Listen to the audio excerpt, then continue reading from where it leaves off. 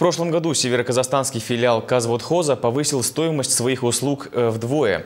О том, как используются средства, полученные от роста тарифа, рассказали журналистам во время пресс-тура. Репортаж Ольги Файзулиной. Петропавловский гидроузел вместе с Сергеевским образует единый комплекс, который снабжает водой жителей нашего региона, а также частично Кустанайской и Акмолинской областей. С 2004 года это стратегический объект. Вход посторонним сюда запрещен. Однако для участников пресс-тура сделали исключение.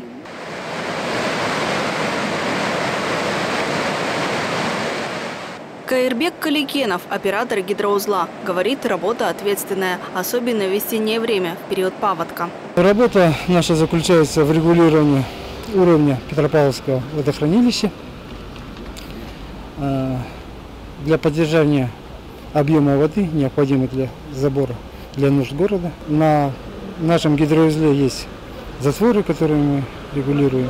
Собственник гидроузла – предприятие «Казводхоз». Основные потребители воды – Кызылжарсу и Севказэнерго. В прошлом году объем продаж живительной влаги снизился на 17%. Этому способствовали установка горожанами приборов учета воды и снижение технических потерь, говорит директор филиала «Казводхоз» Аманжол Кажагулов. Издержки покрыли, повысив тариф. В 2015-м он вырос в два раза и будет действовать до 2020 года.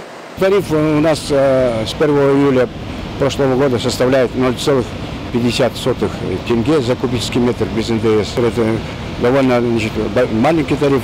В тарифе Исельсу и значит, э, в тарифе э, ТО Козлозарсу он составляет где-то 0,3% всего значит, а затрат. То есть э, наше увеличение никоим образом значит, не сказывается на их тарифе.